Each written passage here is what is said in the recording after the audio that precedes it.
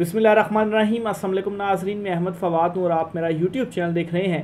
ناظرین، تین خبریں آج کی ولاگ میں آپ کے ساتھ شیئر کرنی ہیں۔ سب سے پہلی اور بڑی بریکنگ نیوز تو یہ ہے کہ اس وقت مسلم لیگ نون جو ہے وہ اس معاملے پر غور کر رہی ہے کہ کیسے کوئی ایسا آئینی نقطہ نکالا جائے کہ سپریم کورٹ آف پاکستان کا جو فیصلہ ہے اس پر عمل درآمد نہ کیا جا سکے۔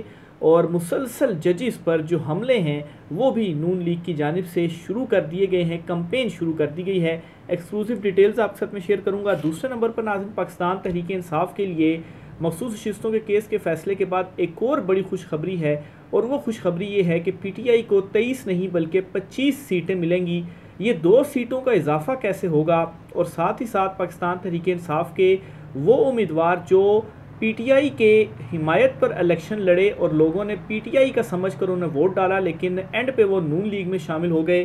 نام آپ کے سامنے لے لیتا ہوں۔ وسیم قادر جو ہیں، ان کے اوپر بھی اب ڈیفیکشن جو کلاز ہیں وہ لگیں گی اور یہ نااہل ہوں گے۔ اس پر بھی کچھ تفصیلات ہیں، آپ کے ساتھ میں شیئر کروں گا۔ یعنی کہ پی ٹی آئی کی نہ صرف پچیس سیٹیں بڑھیں گی، بلکہ شہباز، حکومت جو ہے چنتخب حکومت، اس کی نشستیں کم ہوں گی۔ تفصیلات آپ سے شیئر کروں گا۔ اور آخر میں ناظرین، نواز شریف جو ہیں، انہوں نے ملاقات کی ہے شہباز شریف سے۔ اور اس ملاقات کے بعد شہباز شریف نے استعفے کا جو اعلان ہے، وہ کر دیا ہے۔ اور ایک مرتبہ پھر سے نواز لیگ اینٹی اسٹیبلشمنٹ ہونے جا رہی ہے۔ یہ استعفے کا اعلان کیوں کیا؟ شہباز شریف نے اس پر بھی کچھ تفصیلات آپ ساتھ میں شیئر کروں گا۔ سب سے پہلے تو ناظرین، آغاز کرتے ہیں پاکستان تحریک انصاف کو۔ تیئیس نہیں بلکہ پچیس مخصوص نشستیں ملیں گی۔ کیسے؟ دیکھیں پاکستان تحریک انصاف کے جو رہنما ہیں، جو آزاد امیدوار ہیں، انہیں سپریم کورٹ آف پاکستان نے ایک تو یہ کہا ہے کہ وہ اپنا پارٹی سرٹیفکیٹ یا ڈکلیریشن یا پارٹی سے وابستگی جو سرٹیفکیٹ ہے، وہ الیکشن کمیشن آف پاکستان میں سبمٹ کروائے۔ انتالیس لوگوں نے تو پہلے سے ہی ظاہر کر رکھی تھی۔ اکتالیس لوگوں، لوگ جو تھے وہ آزاد تھے۔ ان اکتالیس سے یہ کہا ہے کہ آپ جو وابستگی ہے، وہ پی ٹی آئی سے ظاہر کر دیں۔ اب ناظرین، یہاں پر سپریم کورٹ نے صرف یہ نہیں کہا کہ آپ وابستگی ظاہر کریں، بلکہ ساتھ میں یہ بھی کہا ہے کہ پاکستان تحریک انصاف نے جن امیدواروں کو ٹکٹ دیے تھے یا جو امیدوار پی ٹی آئی کی سپورٹ سے انہیں حاصل تھی، ان کی بھی جو فہرست ہے، وہ بھی سبمٹ کروائیں۔ اب یہاں پر دو چیزیں ہیں۔ ایک تو یہ کہ پاکستان تحریک انصاف کے وہ امیدوار جو سنی اتحاد کونسل میں شامل ہو گئے تھے، وہ تو چلیں، اب یہ سرٹیفکیٹ دے دیں گے۔ کہ وہ پاکستان تحریک انصاف سے ہیں اور ساتھ ہی ساتھ پاکستان تحریک انصاف کے کچھ جو امیدوار تھے، انہوں نے اس وقت سنی اتحاد کونسل میں شامل نہ ہونے کا فیصلہ کیا تھا۔ ان میں کون کون سے تھے جن میں جن کے پاس پارٹی کے ہوتے تھے؟ ایک تو جو ہے وہ عمر ایوب صاحب ہو گئے، بیرسٹر گوہر صاحب ہو گئے۔ تو یہ وہ لوگ تھے جنہوں نے پارٹی میں ہی رہے اور یہ سنی اتحاد کونسل میں شامل نہیں ہوئے تھے اور اس کی جو ریزن تھی وہ یہ تھی کہ ان کے پاس پارٹی کے عہدے تھے۔ تو اگر یہ سنی اتحاد کونسل میں شامل ہو جاتے تو ان سے جو پارٹی کے عہدے تھے پھر یہ وہ نہیں رکھ سکتے تھے۔ تو اس لیے ان کی جانب سے یہ فیصلہ کیا گیا تھا کہ یہ پی ٹی آئی میں ہی رہیں گے، آزاد ہی رہیں گے تاکہ پارٹی کے جو عہدے ہیں وہ بھی ان کے پاس رہیں۔ تو اب چونکہ سنی اتحاد والا جو معاملہ تھا وہ تو ختم ہو گیا، پی ٹی آئی خود پارلیمنٹ میں آ چکی ہے اور پاکستان تحریک انصاف میں ہی سارے امیدوار شامل ہوں گے۔ تو اس لیے وہ آزاد امیدوار جو کہ پی ٹی آئی کے تھے اور سنی اتحاد کونسل میں شامل نہیں ہوئے تھے وہ اب پی ٹی آئی میں رہیں گے اور مزید یہ اسی لوگ بھی پی ٹی آئی میں آئیں گے۔ تو اس طرح سے پاکستان تحریک انصاف کے جو امیدوار ہیں، ان کی تعداد بڑھ جائے گی یعنی کہ نائنٹی پلس ہو جائے گی۔ پہلے جب وہ سنی اتحاد میں یہ سارے شامل ہوئے تھے تو ایٹی کے قریب تھے اور اب نائنٹی پلس ہو جائے گی۔ تو اس کا مطلب یہ ہے کہ وہ آزاد جو کہ پی ٹی آئی میں رہے اور اس کی وجہ سے سنی اتحاد کونسل کو نشستیں نہیں مل سکتی تھیں مخصوص چونکہ پھر ان کے پاس جتنے لوگ ہوں گے اس کے مطابق ان مخصوص نشستیں ملنی ہیں۔ تو وہ چونکہ اب پی ٹی آئی پارلیمنٹ میں آ گئی ہے، تو تمام مخصوص نشستیں، تمام آزاد امیدوار جو تھے، جو کہ اب P T I key declare ہو چکی ہیں، وہ ساری مخصوص نشستیں پاکستان تحریک انصاف کو ملیں گی۔ تو اس وجہ سے اب یہ جو تعداد ہے، وہ تیئیس نہیں، بلکہ یہ تعداد اب ہو گئی ہے پچیس۔ تو یہ پاکستان تحریک انصاف کے لیے اس فیصلے کے بعد ایک اور بڑی ڈیولپمنٹ ہے۔ پاکستان تحریک انصاف کو بھی میرے خیال سے ذرا ایکٹیو ہو جانا چاہیے تمام تر معاملات میں اور ان چیزوں کو لائٹ نہیں لینا چاہیے۔ پھر دوسری طرف ناظرین، وسیم قادر جیسے جو لوگ ہیں، جو کہ پاکستان تحریک انصاف کے پلیٹ فارم سے الیکشن لڑے، پاکستان تحریک انصاف کا ووٹ حاصل انہوں نے کیا اور چونکہ وہ تھے تو آزاد ہی تو پھر اس کے بعد انہوں نے کیا کیا؟ انہوں نے مسلم لیگ نون میں شمولیت اختیار کر لی۔ اب یہاں پر جو یہ معاملہ ہے کہ جو عدالت نے کہا ہے کہ پی ٹی آئی اپنے ان امیدواروں کی بھی فہرست دے جو کہ ان کے پلیٹ فارم سے الیکشن لڑے، ان کا ووٹ ان کو حاصل ہوا، ان کو انہوں نے ٹکٹ جاری کیا، تو اس کا مطلب یہ ہے کہ وہ پاکستان تحریک انصاف کے امیدوار ہیں۔ تو اگر وہ بے شک آزاد اس وجہ سے تصور ہوئے تھے کیونکہ الیکشن کمیشن نے ان کو آزاد کیا تھا، لیکن اصل میں وہ پی ٹی آئی کے ہی امیدوار ہیں اور اب پی ٹی آئی چونکہ پارلیمنٹ میں آ گئی ہے، تو وہ پی ٹی آئی کے ہی ممبر ہیں اور پی ٹی آئی کے پلیٹ فارم سے ہی الیکشن جیت کر پارلیمنٹ میں آئے ہیں۔ تو اس کا مطلب یہ ہوا کہ وہ پی ٹی آئی کے پلیٹ فارم سے لڑے، جیتے اور اس کے بعد نون لیگ میں شامل ہو گئے، تو ان کے اوپر جو ڈیفیکشن کلاس ہے وہ لاگو ہوتی ہے یعنی کہ جو نااہلی کی کلاس ہے وہ لاگو ہوتی ہے۔ تو ان کے پاس اب یہ آپشن نہیں ہے، تو پی ٹی اے میں وہ واپس آ جائیں گے، یا پھر اس کے بعد جو ان کی نااہلی ہے وہ ہوگی۔ تو یوں جو چنتخب حکومت ہے، ان کی بھی اس طرح سے جو نشست ہے، وہ کم ہوگی۔ اور دوسری طرف پی ٹی اے کی جو نشستیں ہیں، وہ تیئیس سے مزید دو بڑھنے کے بعد پچیس ہو چکی ہیں۔ تو یہ ایک جی بڑی اچھی خبر تھی پاکستان تحریک انصاف کے لیے۔ دیکھیں پاکستان تحریک انصاف اس معاملے پر اب کب ایکٹیو ہوتی ہے اور ان چیزوں کے اوپر ایکشن لیتی ہے۔ دوسرے نمبر پر جو خبر آپ کے ساتھ شیئر کرنی ہے، وہ یہ ہے جی کہ شہباز شریف نے نواز شریف سے ملاقات کی اور اس کے بعد استعفے کا جو اعلان ہے، وہ کر دیا ہے۔ شہباز شریف نے پہلے کہا کیا ہے، یہ سنیں، پھر مزید ڈیٹیل آپ کے ساتھ شیئر کرتا ہوں۔ استعفیٰ دے دوں گا، مگر دباؤ میں نہیں آؤں گا۔ یہ کہا ہے شہباز شریف نے۔ ایف بی آر افسران کو دو ٹوک بتاتے ہوئے یہ کہا جی کہ کوئی سفارش قبول نہیں کروں گا، کوئی ذاتی پسند، ناپسند بھی نہیں ہے۔ قومی مفاد سب سے اوپر ہے، کوئی غلطی ہے تو درست کریں گے۔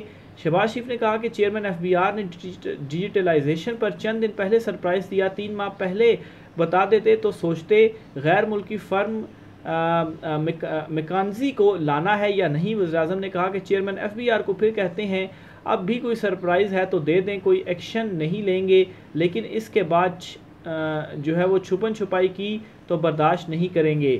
وزیر اعظم نے آئی ایم ایف معاہدے کو ذمہ دار نئی ذمہ داریوں کا آغاز قرار دیتے ہوئے کہا کہ آپ ٹیکس کا فقدان ان افراد پر کریں، جو ایک ڈھیلے کا ٹیکس نہیں دیتے، ٹیکس لینے کے نام پر تاجروں اور صنعتکاروں کو تنگ کرنے کی بھی اجازت نہیں دیں گے، نہیں چاہتا کہ آپ میری بدنامی کریں۔ تو بہرحال جی یہ انہوں نے ایک تقریب تھی ایف بی آر میں اصلاحات سے متعلق، وہاں پر انہوں نے خطاب دیا اور کہا کہ استعفیٰ دے دوں گا لیکن کسی طرح کا جو دباؤ ہے اس میں نہیں آؤں گا۔ تو اب یہ میں آپ کو واضح کرتا چلوں جی کہ یہ انہوں نے کیوں کہا ہے۔ دیکھیں، شہباز شریف کو، نواز شریف کو ملاقات بھی جو ہوئی ہے، ان کا اجلاس بھی ہوا ہے۔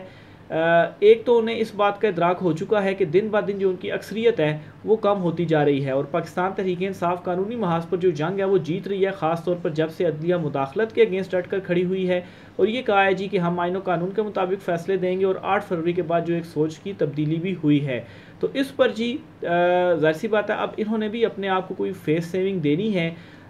دوسری طرف پیپلز پارٹی بھی ان کو آنکھیں دکھا رہی ہے اور کہہ رہی ہے کہ عوام آپ سے خوش نہیں ہے۔ اور ہم حکومت گرانا بھی جانتے ہیں۔ تو اس صورت میں انہوں نے بھی اپنی کوئی فیس سیونگ کرنی ہے اور اینٹی اسٹیبلشمنٹ کو بھی انہوں نے کچھ نہ کچھ کہنا ہے۔ تو اس وجہ سے یہ جو اعلانات ہیں وہ ان کی جانب سے کیے جا رہے ہیں کہ جیسے یہ دیکھیں گے کشتی ڈوب چکی ہے، ساتھ ہی استعفیٰ دے دیں گے اور کہیں گے جی کہ دیکھیں جی اسٹیبلشمنٹ تو اس وقت عمران خان سے رابطے کر رہی ہے۔ اور ہم جو ہے وہ ایک دم سے پھر اب انٹی اسٹیبلشمنٹ ہو جائیں گے اور اس قسم کا جو کام ہے وہ کریں گے بیانیاں بنانے کے لیے۔ تو یہ جو ان کی جانب سے اعلان کیا گیا ہے، یہ صرف اور صرف اس خدشے سے کیا گیا ہے کہ اگر ہم ہار تو چکے ہیں، لیکن اگر اسٹیبلشمنٹ بھی ہٹ گئی اور کشتی ہماری ڈوب گئی تو پھر ہم استعفیٰ دے کر خود کو فیس سیونگ جو ہے وہ دیں گے۔ اور اس کے ساتھ ہی جی نواز شریف جو ہیں، وہ بھی اس وقت کافی زیادہ پریشان بھی ہیں، ناراض بھی ہیں۔ اور نواز شریف یہ کہہ رہی ہیں کہ ہمیں زبردستی حکومت میں بٹھایا گیا اور زبردستی ہم سے کچھ فیصلے کروائے گئے اور مشکل جو فیصلے تھے وہ کروائے گئے، جبکہ جو لاڈلا ہے یعنی کہ عمران خان کو انہوں نے کہا کہ عمران خان جو لاڈلا ہے، اس کو دیکھیں ریلیف دیا جا رہا ہے۔ تو یہ جی اس وقت نواز شریف بیانیاں بنا رہے ہیں۔ اور دوسری طرف شہباز شریف یہ کہہ کے بیانیاں بنا رہے ہیں کہ ہم جو ہے وہ استعفیٰ دے دیں گے یعنی کہ ہم سے ہمارے اوپر جو ہے وہ شاید اسٹیبلشمنٹ کا کسی طرح کا دباؤ ہے اور ہم قبول نہیں کر رہے اور اس وجہ سے ہم جو استعفیٰ ہے وہ دے رہے ہیں۔ تو اصل میں نواز شریف صاحب لاڈلے آپ ہیں، عمران خان نہیں ہے کیونکہ جب انسان لاڈلا ہوتا ہے تو پھر اس کے بعد ہی حکومت کی مخالفت کے باوجود آپ جو ہے وہ پلیٹلسٹ پلیٹلیٹس جو ہیں وہ کم ہوتے ہیں، اوپر نیچے ہوتے ہیں اور پھر اس کے بعد آپ لندن روانہ ہوتے ہیں اور پھر اس کے بعد ڈیل کے ذریعے بنا طور پر جب آپ واپس آتے ہیں تو تمام کیسز بھی ختم ہوتے ہیں اور پھر آپ کو جو حکومت ہے وہ بھی مل جاتی ہے۔ حالانکہ برے طریقے سے جو انتخابات تھے وہ آپ ہارے تھے۔ تو لاڈلا اس کو کہتے ہیں، لیکن ایک بیانیہ بنانے کے لیے میرے خیال سے ان کے جو ووٹرز ہیں شاید وہ بھی بیوقوف ہیں۔ سارے ووٹرز کو نہیں کہہ رہا۔ لیکن آپ جب بیٹھے مسلم لیگ نون کے ووٹر کے ساتھ تو آپ کو اندازہ ہو جائے گا کہ کس قدر مطلب ہے کہ بیوقوف قسم کے ووٹرز ہیں جو ان لوگوں کو ووٹ دیتے ہیں، کیونکہ تھوڑا بہت تو ووٹ ملا ہے ان کو آٹھ فروری کے انتخابات میں بھی، زیادہ ووٹ تو ان کو نہیں ملا۔ وہ بینہ دھاندلی کے ذریعے انہوں نے فارم سینتالیس میں جو کچھ کیا وہ بھی سب کے سامنے ہے اور فارم سینتالیس کا معاملہ بھی عدالتوں میں ہے، وہ بھی انشاءاللہ کلیئر ہو جائے گا تو ان کو یہ تمام تر چیزیں نظر آ رہی ہیں۔ اس وجہ سے ان کی جانب سے اب یہ بیانیہ بنانے کی ایک کوشش ہے اور استعفے کے بھی یہ اعلان کر رہے ہیں اور ساتھ ہی ساتھ نواز شریف جو ہے وہ اس قسم کی جو باتیں ہیں وہ بھی کر رہے ہیں جی کہ ہمیں زبردستی حکومت دی گئی تو ہم تو حکومت نہیں کرنا چاہتے تو ہم خود جو حکومت ہے وہ چھوڑ رہے ہیں۔ اس کے ساتھ ہی جی نون لیگ نے ججز کے خلاف بھی بیان بازی شروع کر دی ہے۔ اور ایک پروپیگنڈا شروع کر دیا ہے محاذرائی انہوں نے شروع کر دی ہے سوشل میڈیا کے اوپر بھی، خاص طور پر لیگی جو وزراء ہیں، ان کی جانب سے بھی جو بیانات ہیں وہ دیے جا رہے ہیں۔ اور خواجہ آصف صاحب کیا بیان دیتے ہیں؟ وہ یہ کہتے ہیں کہ مشاورت اس وقت ایک تو جاری ہے اور ساتھ میں وہ یہ بھی کہتے ہیں کہ اس فیصلے کے اوپر جو کہ سپریم کورٹ آف پاکستان نے دیا ہے، اس پر عمل درآمد کرنا جو ہے وہ ممکن نہیں ہے اور کوئی قانونی جواز نہیں ہے کہ ہم اس فیصلے کے اوپر امپلیمنٹ کریں کیونکہ یہ چھ مہینے کے بعد فیصلہ آیا، اب تو فہرستیں اور ساری چیزیں ہو چکی ہیں، تو اب کیسے ہم اس کے اوپر جو امپلیمنٹ ہے وہ کریں؟ اور پھر یہ بھی کہتے ہیں جی کہ پیر کو پارلیمنٹ میں یہ فیصلہ ہوگا کہ حکومت نے نظر ثانی کرنی ہے یا حکومت نے نظر ثانی نہیں کرنی۔ تو اس وقت یہ سلسلہ، یہ بیانات جو ہیں وہ ان کی جانب سے دیے جا رہے ہیں۔ اصل میں مسلم لیگ نون جو ہے وہ اس وقت تھوڑی سی بہادر اس وجہ سے ہو چکی ہے عدلیہ کے حوالے سے اور عدلیہ پر بیان بازیاں یہ کرتے ہیں اور اس طرح سے دھمکاتے ہیں کہ ہم آپ کے فیصلے کے اوپر امپلیمنٹ نہیں کریں گے کیونکہ سابق چیف جسٹس مرتا بندیال صاحب نے جو الیکشنز کا فیصلہ دیا تھا، اس فیصلے کے اوپر انہوں نے امپلیمنٹ نہیں کیا تھا اور اس کے بعد ان کے اگینسٹ کوئی بھی ایکشن نہیں ہو ہو سکا تھا۔ تو اس وجہ سے یہ آپ سمجھتے ہیں کہ اب بھی ہم نہیں امپلیمنٹ کریں گے، تو ہمارے اگینسٹ کیا ہو جائے گا؟ کیونکہ طاقتور حلقے جو ہیں وہ ہمارے ساتھ ہیں۔ تو بہرحال ایک چیز کلیئر کرتا چلوں کہ چیف جسٹس مرتا بندیال جو تھے، ان کا دور اور تھا۔ ان کے دور میں جس طریقے سے عدلیہ تقسیم اور خاص طور پر ان کے اگینسٹ تھی، وہ بہت معنی خیز تھا، جس کی وجہ سے آپ جو ہے وہ امپلیمنٹ آپ نے نہیں کیا فیصلوں کے اوپر اور پھر اس کے بعد کچھ ایکشن نہیں ہو سکا۔ لیکن اس وقت صورتحال بہت ہی مختلف ہے۔ ایک تو جو مداخلت ہو رہی ہے عدلیہ کے اندر، اس مداخلت کے اگینسٹ ججز ڈٹ چکے ہیں اور اس وقت جو اکثریت ججز ہے وہ آئین و قانون کے ساتھ کھڑی ہوئی ہے چیف جسٹس قاضی فائز عیسیٰ صاحب کو آپ نے دیکھ لیا ہوگا اس فیصلے میں کہ کیسے اقلیت میں ہیں قاضی صاحب اس وقت سپریم کورٹ آف پاکستان میں بھی۔ اور جسٹس منصور علی شاہ صاحب کی سربراہی میں جو ججز نے فیصلہ بھی دیا تو اب ایسا نہیں ہوگا کہ آپ امپلیمنٹ نہ کریں اور آپ کے اگینسٹ کچھ بھی نہ ہو، کیونکہ آپ اس وقت مکمل طور پر ننگے ہو چکے ہیں ایکسپوز ہو چکے ہیں۔